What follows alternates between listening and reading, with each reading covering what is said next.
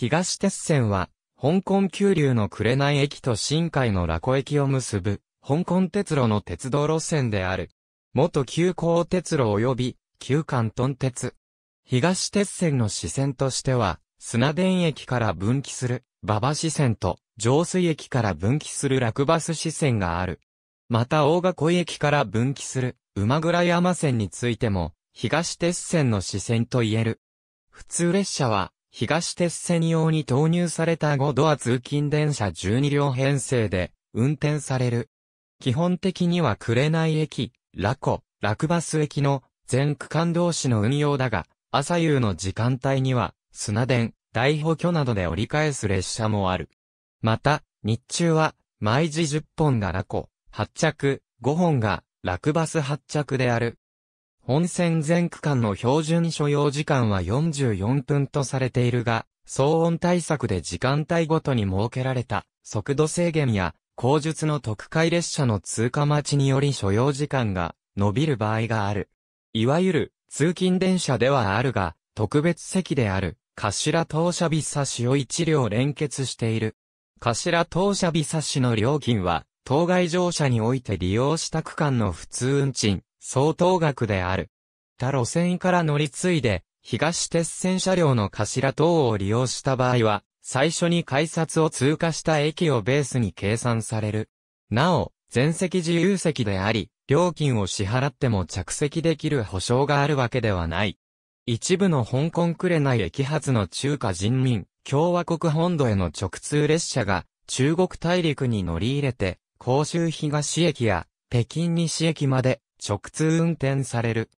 扱いは国際列車ではあるものの、香港は中華人民共和国香港特別行政区という法的地位にあるため厳密には中華人民共和国に入る国際列車という表現は不正確である。現地表記では直通車、白菜客運含むと称する。道路線には2つの支線が存在する。新海の砂田軸にある砂田競馬場の開設に伴い、砂田競馬場へ観客を輸送するために作られた支線である。支線といっても、実態は、加丹駅の裏側にある車両基地の外れにホームを設けただけのものである。運賃は、津島城駅専用運賃が用いられる。競馬会催日のみ運行される。運行形態としては、紅駅から馬場駅を経由する、上水駅行きのほか、馬場駅止まりの列車も存在する。香港と新線を越境する人の割合が年々増加し、現在の東鉄線のラコ新線の出入り境施設では手狭になってしまったため、新たな鉄道用で入居施設を建設する必要があるので計画された支線である。現在この地点には高速道路が開通しており、香港新鮮間の重要な物流の拠点となっているが、これに鉄道施設が加わることとなった。上水駅落バス駅間は 7.4km あり、開通は2007年8月15日の午後に行われた。またこの付近は、香港の中でも有数の湿地帯である。本土側には新線地下鉄4号線と10号線の福田口岸駅が設けられていて、乗り換えが可能である。東鉄線で投入されている車両は2種類がある。イギリスのメトロキャメル製で、駆動方式は釣り掛け駆動方式である。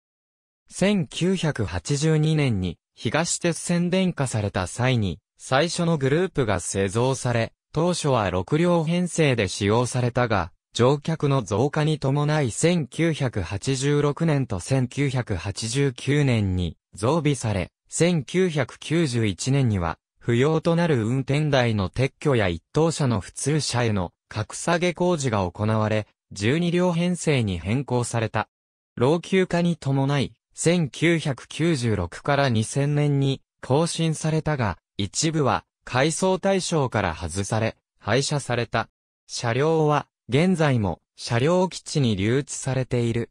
MLR 型は現在も29編成が在籍する東鉄線の主力車両であるが、紅根主間の延伸区間のホーム有効長は9両編成となるため、12両編成の当該形式は2022年までに全車廃車の予定である。紅根主間延伸に伴う在来車の置き換えを目的に、2012年に、韓国、ロテム社に給料編成37本、計333両を発注した。2022年までに、既存の2形式を置き換える。R トレーン一等車 R トレーン第3、編成戦闘車車体は、近畿車両製で、伝送機器は、川崎重工製。通称、1009。